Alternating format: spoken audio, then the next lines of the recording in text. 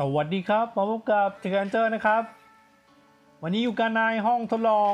เรนเจอร์นะครับ วันนี้ผมจะมาคลายข้อสงสัยกันนะครับ ว่าทำไม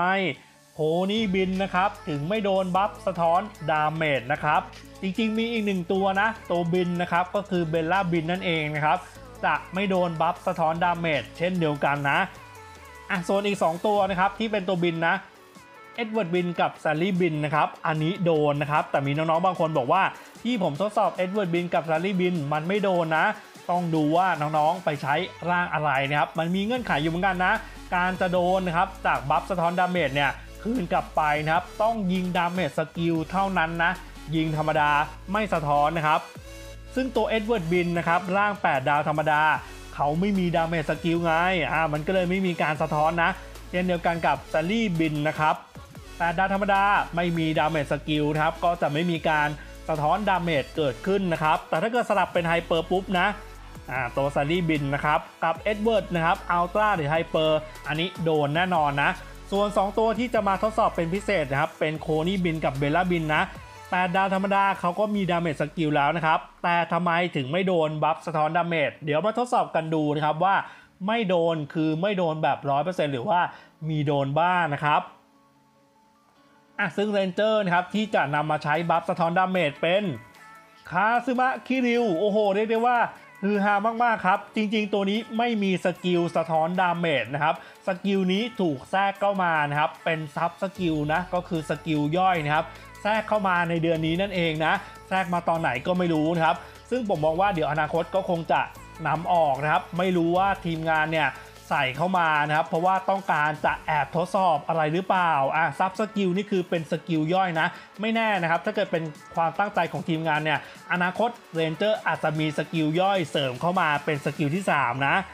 อ่าผมลงข้อมูลเชิงลึกไปที่เพจ Tee Ranger Game Zone นะครับ ไปดูข้อมูลกันได้นะ มีข้อมูลอื่นๆ เพิ่มเติมด้วยนะครับ ที่คิดว่าน่าจะเป็นประโยชน์ต่อเพื่อนๆไม่มากก็น้อยนะครับ พิมพ์เหมือนช่อง YouTube เลยครับ Tee Ranger นะ เดี๋ยวมันเด้งขึ้นมานะครับ ที่เพจ Facebook นะครับอะตัวที่เป็น skill นะครับที่แบบถูกสร้างเข้ามาเป็น sub skill ของคิริวนะครับมาจากอายการลึกลับโกดอทนั่นเองนะ และต้องเป็น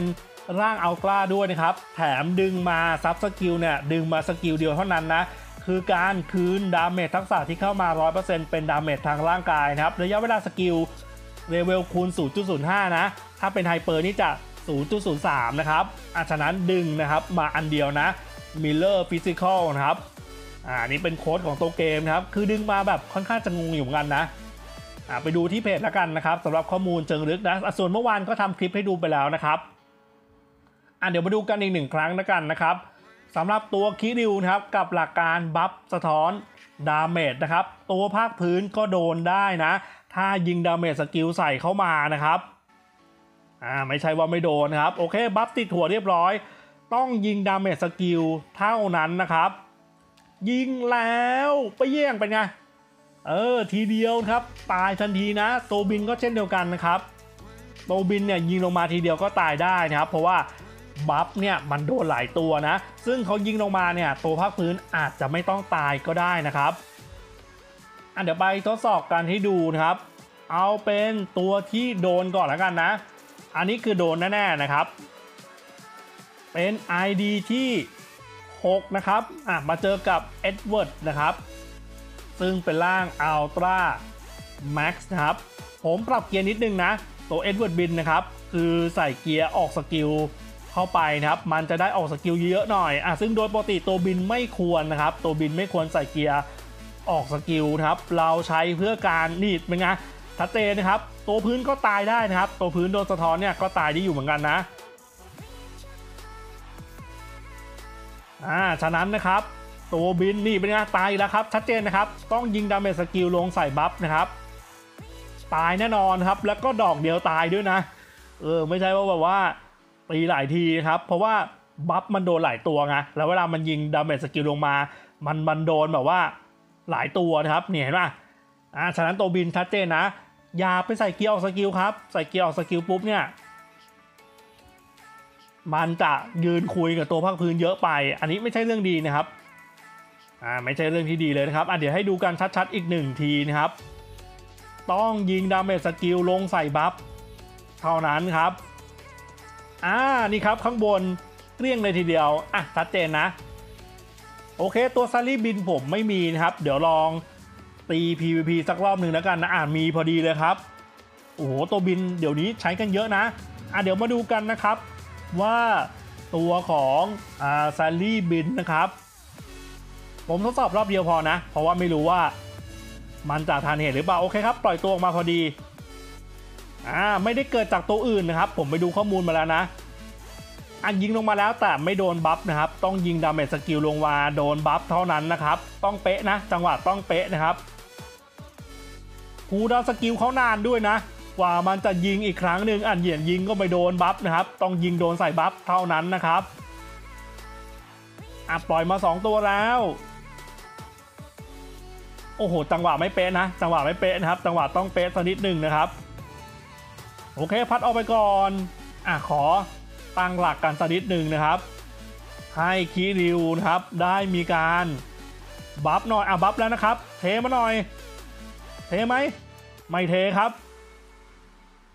โอ้โห ไม่เทเลย ไม่เทก็ไม่เห็นนะอะเทแต่ไม่โดนครับ ไปเป็น skill เห็ดนะครับ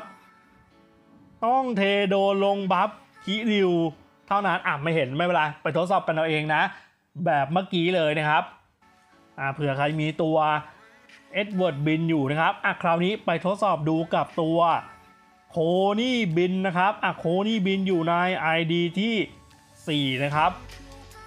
อ่าแล้วเดี๋ยวมาดูกันว่าทำไมนะครับถึงไม่โดน buff สะท้อน damage หรือมีโดนบ้างอะมาดูกันครับ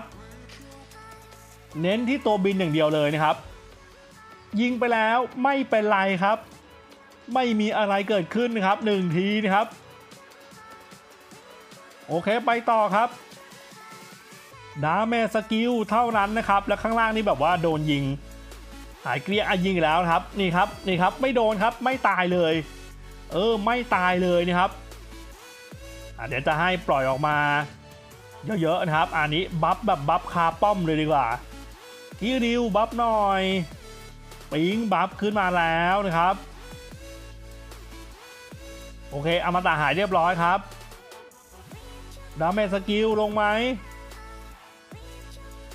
อะยังไม่ยิงนะอะยิงลงมาแล้วครับ ไม่ตายครับอะอันนี้ชัดเจนนะ ไม่ตายนะครับอะเดี๋ยวพัดเอาไปก่อนให้ดูกันรอบสุดท้ายนะครับ ว่าทำไมโคนี่บินทั้งสองร่างเลยนะ ทั้ง 8 ดาวธรรมดาทั้ง hyper นะครับ ยิง damage skill ลงมาไม่โดนสะท้อนนี่ครับ ไม่ตายสักตัวหนึ่งเลยอะแสดงว่าชัดเจนแล้วนะครับว่า skill นี้นะครับ ที่ทำให้ตัวโคนี่บินนะครับ ไม่โดนนะ แล้วก็ไม่โดนแบบ100%ด้วยนะครับอ่าส่วนใครที่งงๆอยู่นะ ก็ต้องไปดูนะครับว่าทีมของเราเนี่ยมันมีตัวไหนบ้างที่มี buff สะท้อน damage นะครับ หรือว่า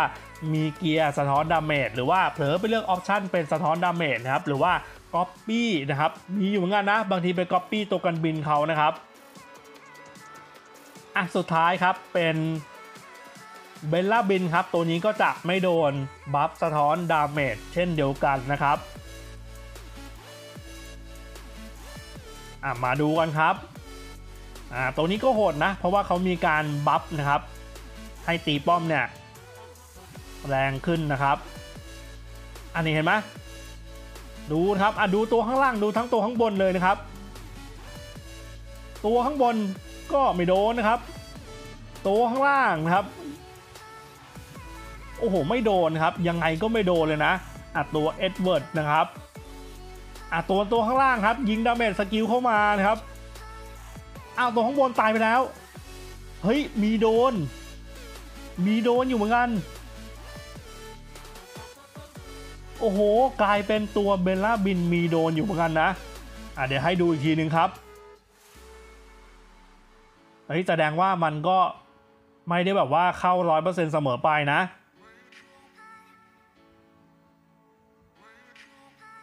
เดี๋ยวดูอีกทีหนึ่งนะครับว่าเบลล่าบินนะครับ เบลล่าบิน เบลล่าบิน ยิงลงมาหน่อยอะคีริว ไม่มีแร่ปล่อยละ ไม่มีแร่ปล่อยโดนโดนโดนความสามารถไอตัวบราวน์นะครับ โดนบราวน์ไฟนะเออแร่แร่แร่โหดเลยนะครับแร่นี่โหดเลยทีเดียวอะเดี๋ยวทำลายกลุ่มมานิดนึงเออเพราะว่าแร่โหดเลยทีเดียวนะครับอะเบลล่าบินนะครับจับสังเกตดู เอ้ยเหมือนเมื่อกี้รอบแรกมันตายอยู่เหมือนกันนะ หรือว่าผมดูผิดฮะอ่านี้ไม่แน่ใจนะครับอ่าขอแช่หน่อยละกันอะแช่นี้ตายแน่ๆนะ อันนี้ไม่ไม่ไม่ไม่ผิดปกตินะครับอะตัวนี้ปล่อยออกมา เป็นยังไงบ้าง โอ้ก็ไม่ค่อยออก skill เท่าไหร่นะ ออกแต่ skill buff ซะเป็นส่วนใหญ่นะครับอะเดี๋ยวไปดูกันดีกว่าว่าทำไมนะครับ ตัวเบลล่าบินนะครับกับโคนี่บินเนี่ยถึงไม่โดนครับหรือว่าโดนน้อยมากครับในการ buff สะท้อน damage นะครับอ่าเพราะว่าเขามี skill นี้นั่นเองนะครับ คือการยกเลิกผลลัพธ์ buff ของศัตรูนะครับ กลายเป็นว่าเป็น skill ที่มีประโยชน์ต่อตัวบินเลยนะครับนี่ครับ ยกเลิกผลลัพธ์ buff ของศัตรูนะ ฉะนั้นเนี่ยพวก buff ตีเร็วตีแรงนะครับ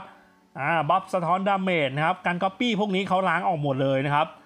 เบลล่าบินก็มีนะนี่ครับยกเลิกผลลัพธ์ buff ของศัตรูนะครับอ่าแล้วก็ทำให้ stun ด้วย แต่ก็ไม่แน่นะ มันอาจจะแบบว่ามีการแบ่งโดนหรือเปล่า เบลล่าบินก็เลยมีการโดนสะท้อนนะ แต่เท่าที่ดูโคนี่บินไม่โดนเลยนะครับโคนี่บินนี่ไม่โดนเลยนะครับ เป็น skill อันเดียวกันเลยนะ damage stun นะครับ แล้วก็ยกเลิกผลลัพธ์ buff ของศัตรูอะก็ทดสอบกันให้ดูประมาณนี้นะ ว่ามันไม่โดนเป็นส่วนใหญ่นะครับอะส่วนคนอื่นๆที่เฮ้ยตัวบินศัตรูทำไมถึงตายนะครับ ก็ลองไปดูนะครับว่าทีมของเรามีตัวไหนนะครับที่มีอ่า skill buff สะท้อน damage นะครับหรือว่ามีเกียร์สะท้อน damage อ่าอันนี้ต้องไปดูกันดีๆนะครับ ซึ่งตัวนี้อ่าตัวนี้มี buff สะท้อน damage ครับตัวนี้ก็มี buff สะท้อน damage อะขอ ตีทิ้งท้ายรอบสุดท้าย ไม่รู้ว่าจะทันได้เห็นหรือเปล่านะครับ ตัวแซลลี่บินนะครับ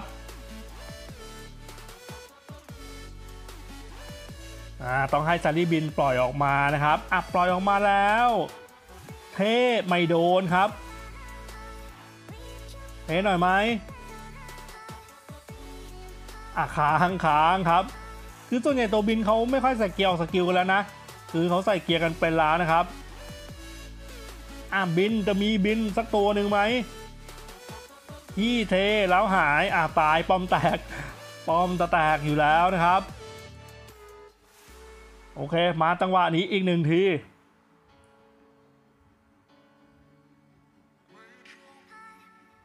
อะหวังคีริวครับ เข้าตำแหน่งเรา buff หน่อย อะนี่โอ้โหโอเค ได้เห็นแล้วนะ ตัวแรกตายนะครับ ตัวแรกตายไปแล้วนะครับอ่าเพราะว่าเขายิง damage skill นะครับลงใส่ buff พอดีนะครับ โอเค วันนี้มาทดสอบกันประมาณนี้นะ ก็น่าจะได้รู้แล้วนะครับ ว่าทำไมโคนี่บินกับเบลล่าบินนะครับถึงไม่โดน buff สะท้อน damage เพราะว่าเขามี skill